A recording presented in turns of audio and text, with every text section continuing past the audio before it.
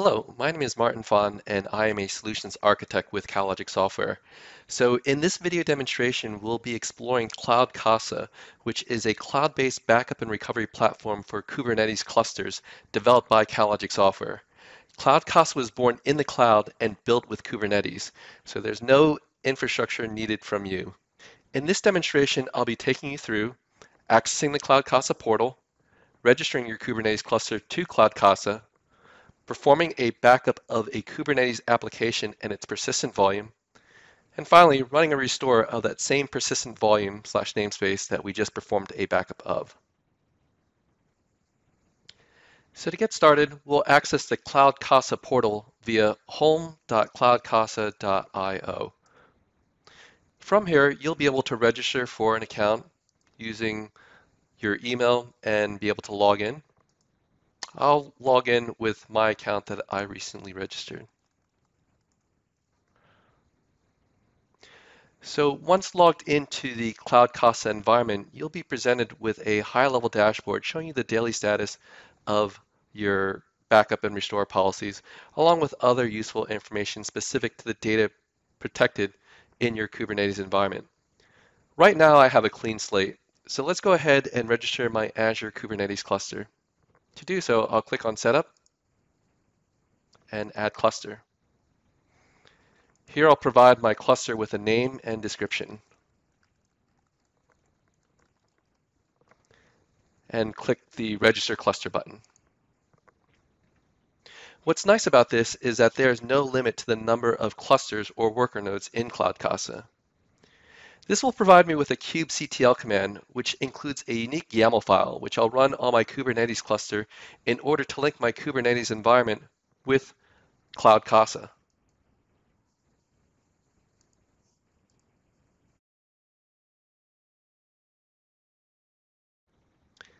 After running this script, I'll see that my cluster will move from a pending state into a ready state, and that an agent service from Cloud Casa has been deployed to my cluster.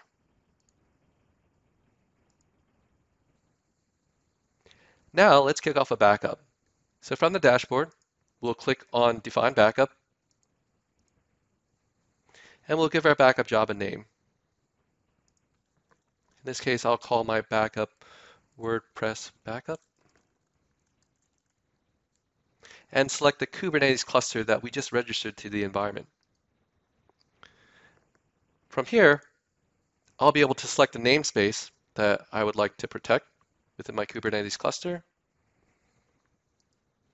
and define configuration options like enabling persistent volume snapshots.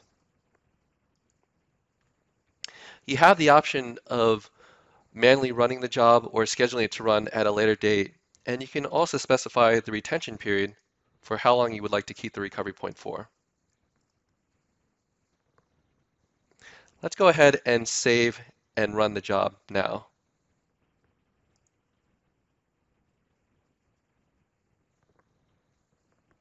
At this point, the job is running. You'll be able to see the progress of the backup job by clicking on the progress bar at the bottom of the screen. This will automatically back up the contents of the namespace along with the cluster scope resources, all resource data is automatically backed up to Cloud Casa's secure cloud storage via S3, and we create a snapshot of the persistent volumes as well using CSI. It's important to mention that your data is always encrypted at flight and rest. Once the backup is complete, we can perform a restore of that namespace. Let's first delete the namespace WordPress from the Kubernetes cluster. To do so, Let's first verify that it exists through a kubectl get command.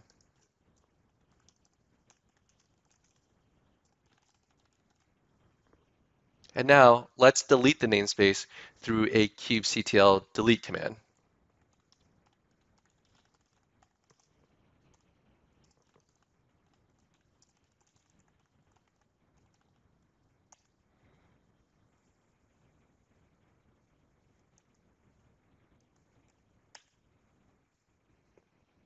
Now that we've confirmed that the namespace has been deleted, let's restore it from our Cloud Casa backup. To do so, I'll click on the Restore button to restore the most recent recovery point.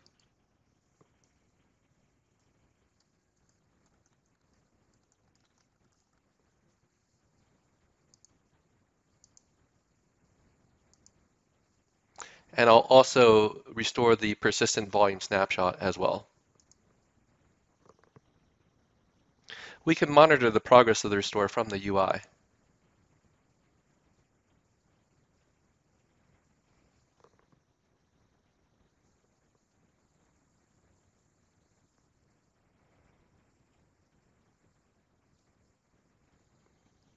Now that the restore is complete, let's check to make sure the namespace has been restored in our cluster.